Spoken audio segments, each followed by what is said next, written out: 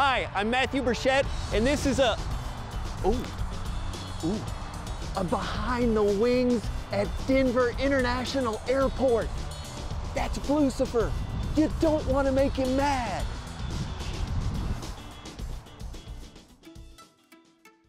This program was made possible by Wings Over the Rockies, educating and inspiring people of all ages about aviation and space endeavors of the past, present, and future.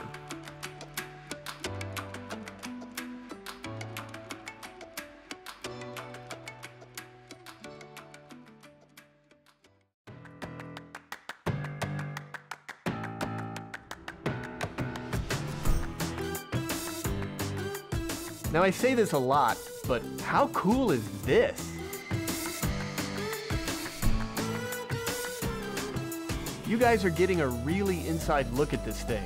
Not everyone gets to do that. Bam! Bam! Bam! Bam! Bam!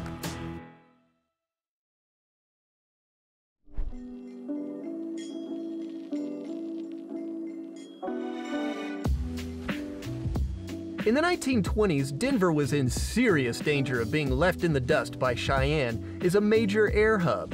So, the Denver Aeronautical Commission decided that if Denver was to become a major air transportation center, it needed to create the best airport facility between St. Louis and the West Coast. They did, and Denver Municipal Airport opened on October 17, 1929.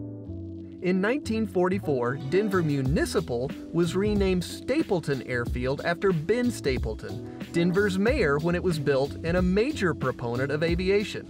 Then, in 1964, the airport was again renamed to Stapleton International Airport. By the 1980s, Stapleton had expanded as much as was practical. Air traffic continued to increase, but the airport was exceeding its capacity to handle all the traffic and passengers. One major limitation was that the parallel runways were too close together and couldn't handle simultaneous instrument approaches during low visibility. After years of planning and construction, Denver International Airport was opened on February 28, 1995. At that time, DIA was the first new major airport to be built since Dallas Fort Worth more than 21 years earlier in 1974. Before we go and check out DIA, let's look at an artifact in our collection that encapsulates Denver's airport history. This is the Progress of Flight mural, and it was actually in Stapleton Airport up on the mezzanine level. Now, not an artifact is Jeff Reddy. Jeff, Thank you so much for being here. Now, your dad was the architect of record for Stapleton Airport, which means that basically he designed the thing. That's right. Uh, actually, my dad started working at Stapleton uh, back in early 1950s and continued uh, working really up until its closing. So, did he actually have something to do with this as well? Yes, this mural was part of the terminal that was built in 19. Uh, 62 roughly and opened in 64. He worked very closely with a local uh, mosaic tile uh, manufacturer, uh, working out the scale and the colors and making sure everything fit. So I was, I was really happy that it was able to be salvaged and moved and is here in the museum now. Yeah, well, we are really glad to have it because it is a really interesting piece. Now, you also brought some stuff from your own collection that probably nobody has ever seen for a really long time. Can we take a look at that stuff? Let's do. I'd yeah. like to share it. Oh, excellent. Wow. This is really cool. This is something that you just don't see anymore. This is an actual watercolor. Right. This is dated uh, 1952. So at this point, Denver had realized they really needed more terminal capacity as well as airport capacity. So this was a major project for Denver to construct a new terminal. Uh, shown here is uh, we have a kind of the old iconic uh, clock tower that uh, remained in place even as Stapleton expanded. That clock tower stayed, and uh, the new terminal was built around it. Uh, this area is a corporate center for United Airlines. Denver was United's home base. It was their home up until the uh, early 1970s. So Uh, United had a presence right on the terminal. It was their main offices. And now tell me about this one. I can see there's the clock tower again, but this is completely different.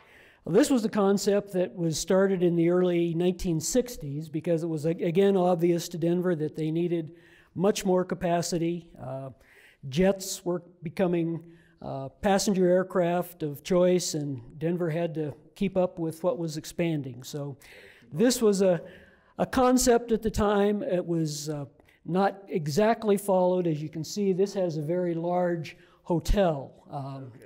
Denver was maybe a little in the forefront of thinking of a hotel at their airport. Uh, not many airports had done that. And so that was uh, part of the concept that was not followed through, but really the terminal, as it was constructed, pretty well followed this, this rendering. I love that they kept the clock tower. That's, uh, I wish we had kept it. And now here, again, there's the clock tower but they've kind of followed this circular pattern. There's no hotel, but this is dated 1979, so this is definitely Stapleton. This is how, as it was finally constructed. Um, as you can see, we do have a new control tower, which right, is, which is still there. That's the only element of Stapleton that's still in place. But huh. and then knowing that even with all of this, we were going to need something more. Bam! You guys come up with this which was a concept in 67 for a whole new airport. Exactly. I think it would became very apparent to the Denver leadership that the airport was going to have to move sooner or later. So uh, this was a concept that was developed on the Rocky Mountain Arsenal. Oh, so this this was not really even thought to be out at the uh, DIA area not at this point. I think even then we realized uh, the, the, arsenal was going to be a, a candidate, and okay. it was looked at even when uh, DIA was built, but it wasn't really too restrictive in the amount of land that was available at the arsenal, which really directed them to move further east and get a lot more real estate for a much bigger airport. Yeah, like they always do. You got to have more land. Well, Jeff, Thank you so much for being here and bringing these amazing photos and renderings. These guys have not seen the light of day in what, 30 or 40 years probably? At least. Wow, that is really cool. That is really special. Now that you have the backstory of Denver's airports, it's time to head over to our friends at DIA to get an exclusive behind the scenes tour of their facilities and uncover their deep, dark secrets. So this is the Jeppesen Terminal and we're in the Great Hall. And as you can see, it looks kind of a little bit slow today at TSA. How many people though do you have come through every year? Over 61 million passengers navigate oh, through our facility. That's a ton of people. What's kind of the average wait time? On an off-peak period, it's going to vary. Um, we try to maintain approximately 15 minute wait time or under. And DIA has three areas for TSA security. We do. We have three checkpoints. Um, we have one checkpoint that remains open 24 7. Okay. And then the other two checkpoints are generally open from 4 a.m. to approximately 9 p.m. So one of the things that's going on right now is DIA is making some huge changes, and this is actually one of the areas where you guys are going to make changes. Now, right down in the middle right there with kind of the, the white baggage looking thing, that's one of the, the changes you guys have already implemented already. Traditionally, screening lanes have been more linear, and so uh, you basically waited for the person in front of you to process through the screening lane. Right. The automated screening lanes allow multiple people to divest or to take off their screened items at the same time. And so you can see there's multiple drop locations yeah. and you're not waiting for the person in front of you. You can actually progress forward even if the person in front of you hasn't unloaded in preparation for that screening process. Has that sped up the process? They say there's a, a, significant increase on those particular lanes, and so hopefully the idea would be that once we have all lanes for automated screen lane that will definitely significantly increase our throughput. Now it looks like there's not a TSA agent actually looking at the screen. Is so when you say automated, it runs through the X-ray machine, and the X-ray machine figures out through an algorithm or something that if there might be something in the baggage that they need to flag. The technology assists the staffing of TSA to identify any item that may be a threat or requires additional screening. Now, one of the things that I've been told that will be a drastic change in here, and you don't have to answer this question or not, but right now this is not really ideal because here we are looking straight down, and if I go right down to that far end, that's a, that's a clean area, and if I really wanted to, I could drop something to somebody. Yeah. So that's going to change. That, that is going to change, and there is a vulnerability of having this vantage point over the checkpoint. Um, and I think that that again is why we're moving the direction we are to have the checkpoints on level six. That makes sense. The Great Hall, I headed outside to get a tour of the airfield. My guide for the day was Director of Operations Bruce Getz, who showed me the amazing features of this airport.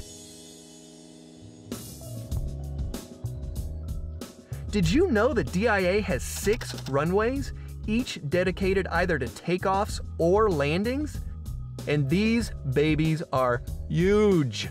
In fact, DIA has the longest commercial runway in North America at 16,000 feet long. Now, I know a lot of you have wondered hey, why is this airport so far from downtown? Well, the forefathers who envisioned DIA had long term growth in mind. Currently, the airport sits on roughly 53 square miles of land. That's enough room to build six more runways without purchasing another acre of land. Most airports located closer to cities have land restrictions and struggle to build even one runway. So it won't be long until DIA jumps to the fourth busiest airport on the continent. Next, Bruce and I headed up into the ramp tower, which controls all the traffic in the ramp area. What we're looking at out these windows is literally all the movement of the aircraft to and from the gates, out to the taxiways, all that kind of stuff. And right now we're in a lull, That's as correct. you call it. A little bit of a slow period right now. This is between banks, this early afternoon period. And as you mentioned before, the FAA tower wants to only control runways and taxiways, and they want the rest of this area in the center of the airport around the concourses. They don't want to manage that, so that's left up to our controllers and the United controllers to manage all the movement of aircraft coming into and out of the gate area. Uh, the controllers up here have a lot of neat tools to manage things safely. Up above is our AeroBahn system, and that's a real-time display of arriving and departing aircraft. So this is, I mean, literally real time. One second updates, so Wow. as that 757 is making the turn up there, we'll immediately see him making the turn. So when we were boogieing around out there in the in your super awesome ops truck, Yeah. we would have shown up on this. That's correct. Um, and I don't see another vehicle, but our vehicle would have said Ops 5 because it has a transponder in it that's broadcasting our signal, which is Ops 5. That's the whole goal of uh, being out here is just safety, knowing where everybody is in relationship to everyone else. It also keeps you from going out there and taking a nap. Well, I suppose we could see if you parked in one place for a long time. We do operate this facility 24 hours a day, seven days a week. There's always somebody up here. Um, and so they're a, a great dedicated group of people that really know their job well and making sure this airport is running at maximum efficiency. And the passenger is everything. And the reality is, yes, there are going to be hiccups. There's going to be hiccups here the same way there are in Atlanta or Chicago O'Hare. But there's a lot of folks behind the scenes making sure that that delay, if it's there, is really minimized. Not only is the ramp tower helping you make your flight on time, but so is the snow removal team. DIA is famous for having one of the largest snow removal teams in the world. Let's head over to the Field Maintenance Center to see how these guys operate. Whoa, that is an amazing plow. What's even more amazing, this guy, Rich Brannon, he's the AD of field maintenance for DIA. How cool is that job? So Rich, you guys are like a tiny little, not even tiny, you're like public works. Right. Yeah. Just we for are. DIA. Tell me what you guys do out here. So we are. We are a, uh, a big department. We're about 150 strong. Um, we pretty much do all the preventative maintenance here at DIA. Um, we have basically two seasons, summer and winter. Um, summer we do, uh, you know, basic maintenance. We do paving. We do some concrete repair. Uh, we do some repairs on the runways and taxiways. Um, we do erosion, fence fence repair. Um, we do mowing. We have 53 square miles. We basically maintain. Whoa. Seriously? 53 square 53 miles? square miles, and we're You guys uh, don't use handheld mowers. no, only uh, only if uh, yeah, only if you're on the bad list or something. but no, uh, lots of tractors, lots of mowers, um, tons of equipment. Um, we're 365 days a year, um, so we're here all time. And then we transition to the snow, which is today. Yeah. Um, And we have over almost 200 pieces of equipment just in snow alone. And uh, yeah, we take care of the airfield. So runways, taxiways. So speaking of snow removal, DIA has a 16,000 foot runway, which is literally the longest runway in North America. How do you plow that and not just back up planes for hours and hours? Right. So with the 200 pieces of snow equipment we have, we divide the airfield in half. So we have an east side and a west side runway team. Um, that runway in particular is on the west side. So we have approximately 22 pieces of equipment that clear that runway alone. So uh, we're able to clear that runway anywhere between 12 to 15 minutes. And we have certain formations that we do that in, uh, depending on the snow and the wind. Um, kidding. we have, so we'll go down the runway in a certain way and it's one pass and the runway's clear. If I worked here, I would constantly be in trouble and I would be that kind of broom. Rich took me inside their storage area to see their whole equipment collection, and it was nothing short of impressive. With over 200 pieces of equipment, you can be assured that any snow falling on DIA is efficiently dealt with.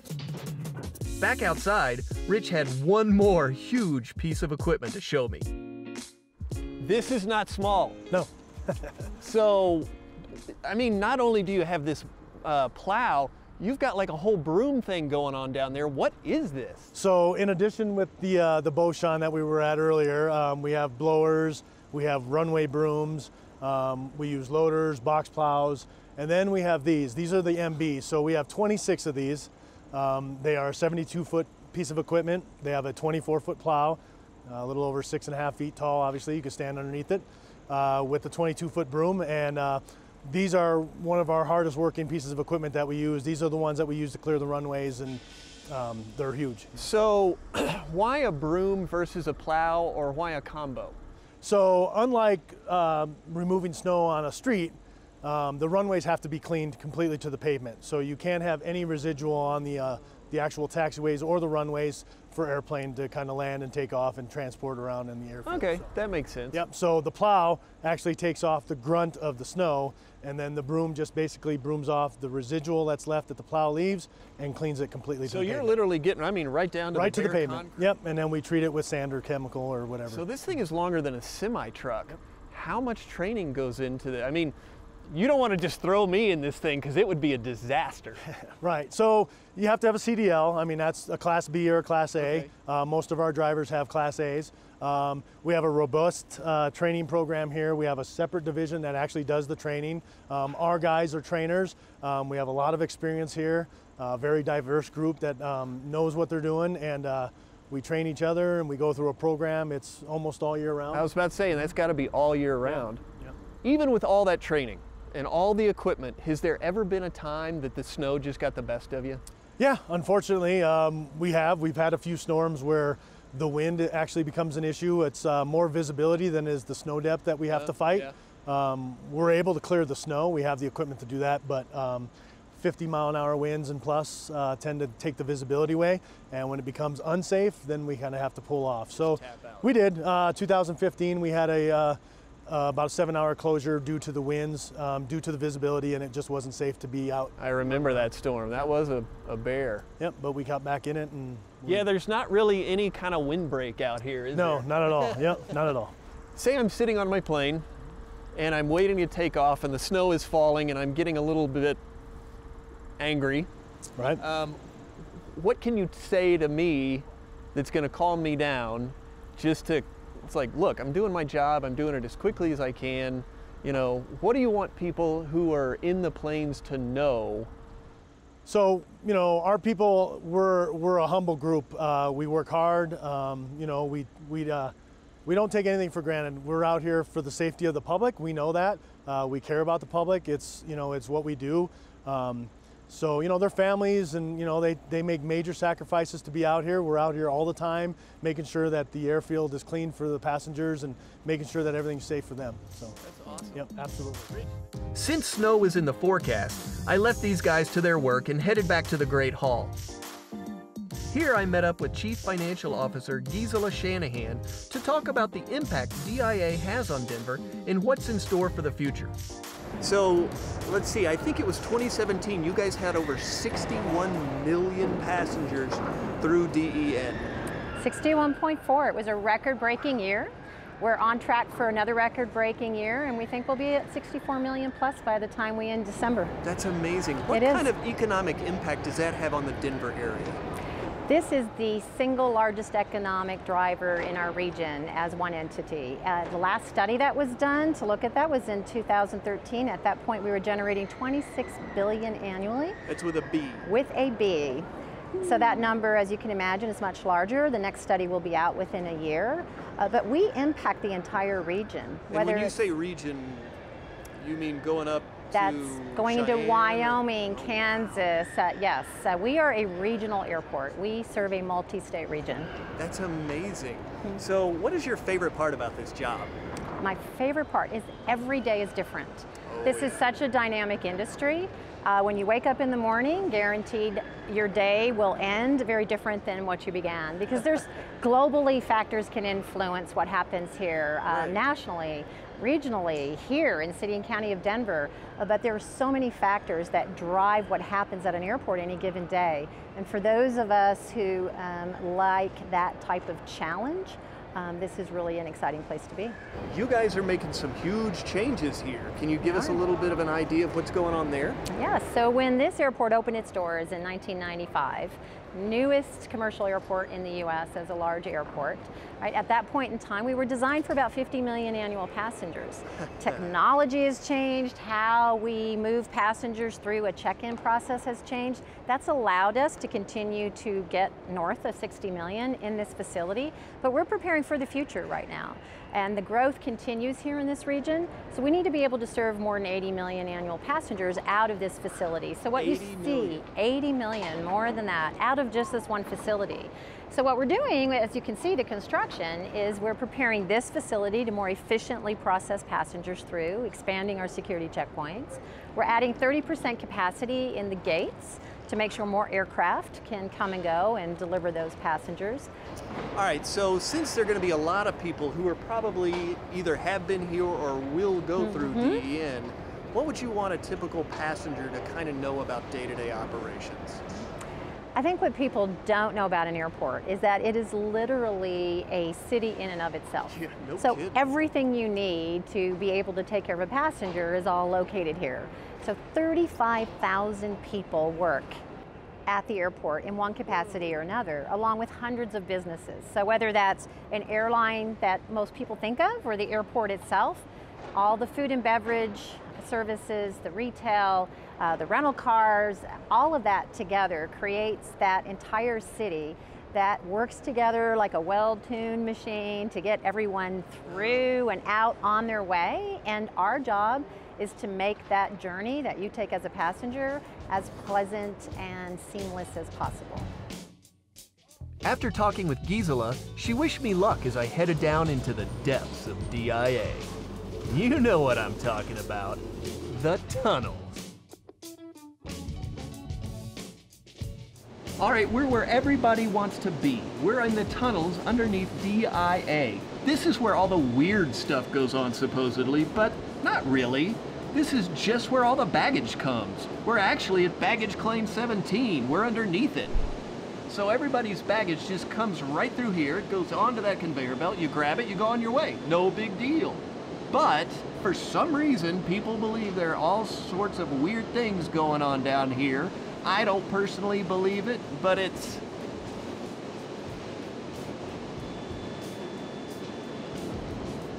I knew it! I knew it!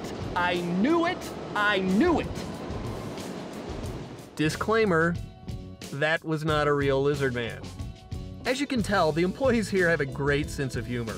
In fact, there are over a thousand people that work in the baggage tunnels every day. And where exactly are these tunnels, you're wondering? They actually run parallel to the train system that transports passengers to and from the concourses. After some time exploring the labyrinth of tunnels, I was ready to get back up to the surface. You never know what you'll run into down here. If you're a frequent flyer, then you know this airport. It's the fifth busiest airport in the country and even has room to grow. From driving on the airfield with Bruce, to touring the amazing selection of snow removal equipment with Rich, and even going underground to explore the labyrinth of baggage tunnels, we've taken you behind the wings of Denver International Airport.